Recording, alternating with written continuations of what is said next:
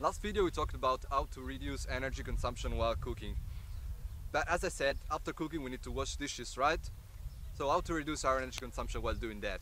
As I said, you can spend much more energy by washing dishes than by cooking. That's because usually people uh, wash dishes with hot water and with running water.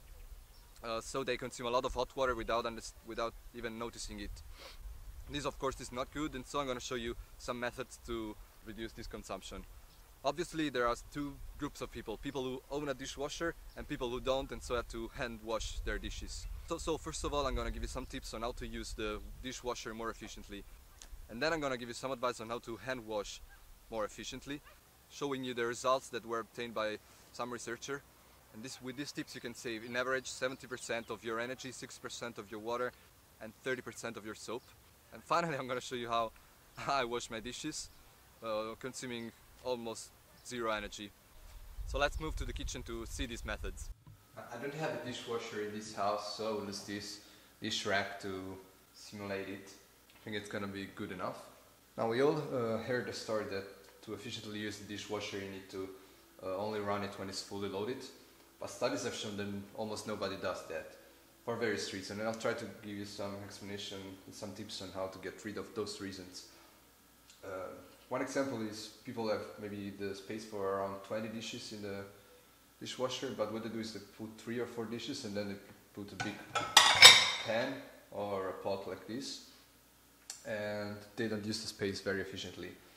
So my first advice is wash anything that doesn't have a right shape to stay in the dishwasher with your hands. So don't put in the dishwasher pans, pots, uh, maybe cups like this, which is too big.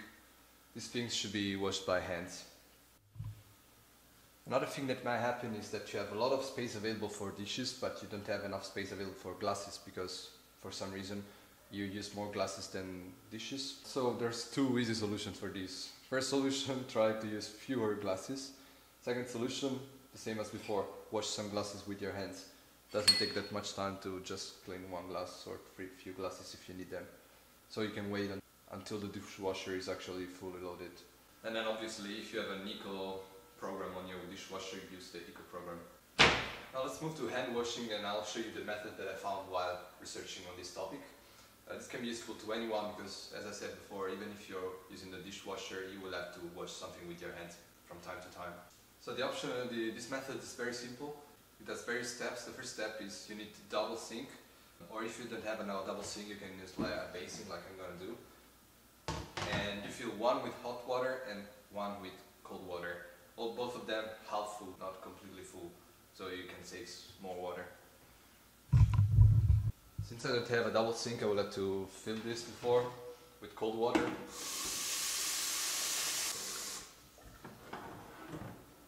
This water will only be used for rinsing. And then I fill this one with hot water. So,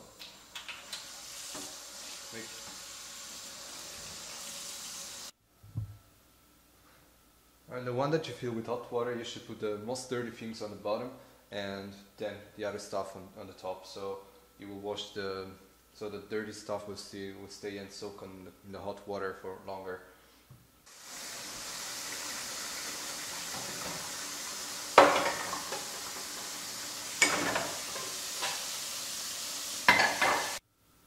Okay, I would say now it is half full. Actually here I'm cheating a little bit because I didn't have so much stuff to clean and it's not that dirty but it's just to give you, to show you the method. Now they say that it's better to add the soap after you pour the, all the water, so you put the soap inside the water like this and probably some on the sponge or on the or any tool you're going to use. I'm not using a specific amount right now. Uh, so you start washing in the water. This water you wash with hot water and soap one by one, each dish, and then you rinse each piece in the cold water. And then you put them here to dry in the and you're supposed to change the water when you think that it's too dirty in, in, in either sink. So the idea behind this method is you will let the stuffs let the dirty stuff soak in the hot water. Uh, in my opinion, this method is only good for like families of at least three, four people because honestly, filling the sink and everything with uh, hot water using a second scene or a basin like in my case, I think it's boring and it takes longer than what it usually should take, I think. Okay, I'm done with cleaning now. Now this method can save you around 70% of the energy, 60% of the water and 30% of the soap. So one thing you need to think about is uh, bacteria and that pathogens usually grow on in water or in uh, some remains of food on the dishes. So the most important thing is that you make sure that no food is left on the dishes and that you dry the, the stuff well. So you, you have, things have to be in the right position to, to get dried. Only put, only put them away when they're actually dry. Okay, my method differs from the others because um, the other one I showed you is useful to save energy, water and soap. Mine is specifically to save energy. So I will use running water instead of still water, but I will use cold water, as simple as that.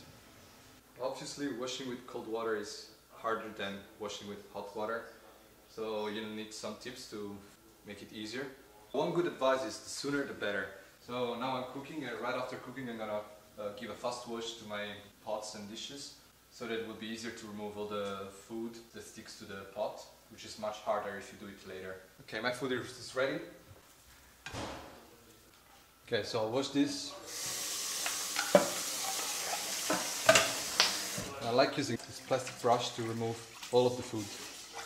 This can be done very fast and also even if I'm using cold water, putting it in a hot pan makes it hot of course, so it makes it easier to remove some of the uh, fat layer, fat layers that are on the pot.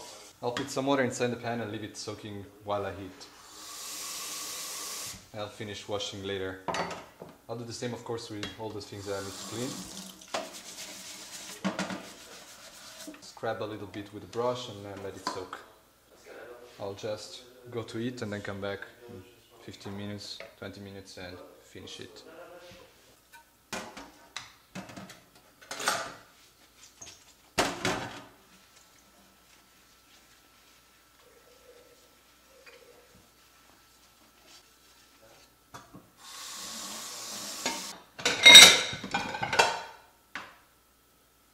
Now someone might be thinking cold water is great, but it doesn't kill pathogens, right? Bacteria. Well, that's true, but my point is also warm water doesn't kill all the bacteria. It can kill some of the some part of the pathogens, but there are some very common pathogens that can survive for more than 10 minutes at temperatures around 60 degrees Celsius, which is the temperature, the maximum temperature that you can expect from the tap. Also because at 60 degrees Celsius under the tap your hands can resist no more than 10 seconds before getting serious damage and even a lower temperature around 50 degrees your hand can, get damaged. I found no evidence to support my method with cold water, meaning I found no, no evidence that says that washing dishes with cold water is as, as good as washing dishes with hot water, hygiene wise. But I didn't find also the opposite, so I didn't find that hot water is better than cold water. Actually I found a very interesting paper in which they explain how uh, for hand washing hot water is actually worse than cold water because it can harm your hands. So I suggest you to check this paper if you're interested in the topic.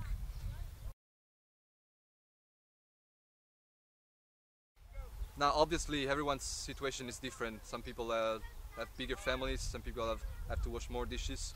So based on that you have to choose the method which is best for you or you can mix the methods to have uh, the best performance possible. But now you know how to save energy while doing that and how to reduce your impact on the environment. So the choice is yours. See you next time.